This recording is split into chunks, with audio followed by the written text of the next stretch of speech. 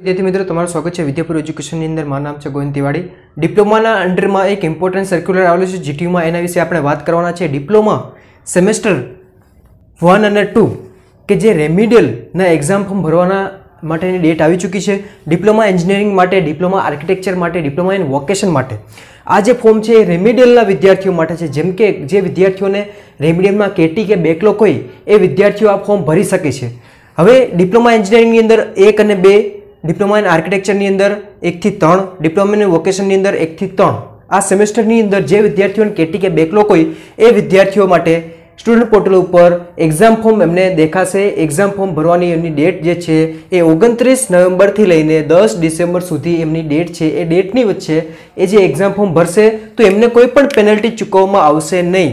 જે વિદ્યાર્થીઓ અત્યારે આ વીડિયો જોઈ રહ્યા છે. એ વીડિયો તમે ધ્યાનથી, તમે જોઈ લો જે વિદ્યાર્થીઓ ડિપ્લોમા ઇન એન્જિનિયરિંગમાં આર્કિટેક્ચર અને વોકેશનની અંદર અભ્યાસ કરતા હોય અને એમને જો કેટી કે બેકલોક હોય, તો એ વિદ્યાર્થીઓ આજે તમે ડેટ તમે લખી નાખજો કે આની અંદર તમારે એક્ઝામ ફોર્મ તમારે ભરવાના રહેશે.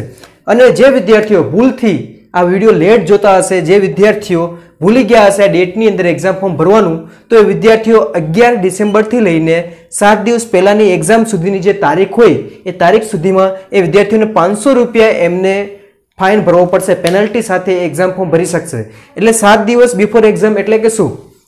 એટલે અગિયાર તારીખ પછી, અગિયાર ડિસેમ્બર પછી, અને જ્યારે એક્ઝામ હોય, જેમ કે આ એક્ઝામ હોય રેમિડલની એક્ઝામ એના સાત દિવસ પહેલાંની જે તારીખ હોય, એ તારીખથી અગિયાર ડિસેમ્બર સુધીની તારીખ. એ એટલા સમયગાળામાં જે વિદ્યાર્થીઓ ફોર્મ ભરશે, એને પાંચસો રૂપિયા એમને પેનલ્ટી ભરવી પડશે અને એ એક્ઝામ ફોર્મના બીજા જે પૈસા રૂપિયા છે, એ અલગથી એમને ભરવા પડશે. તો વિદ્યાર્થી મિત્રો, આ જે વીડિયો છે તમારા ફ્રેન્ડને શેર કરો, જેથી કરીને એમને પણ ખ્યાલ આવે કે એક્ઝામ ફોર્મ ભરવાની ડેટ આવી ચૂકી છે અને સ્ટુડન્ટ પોર્ટલ ઉપર જઈને એમને એક્ઝામ ફોર્મ ભરવાના રહેશે ઓગણત્રીસ નવેમ્બર પછી.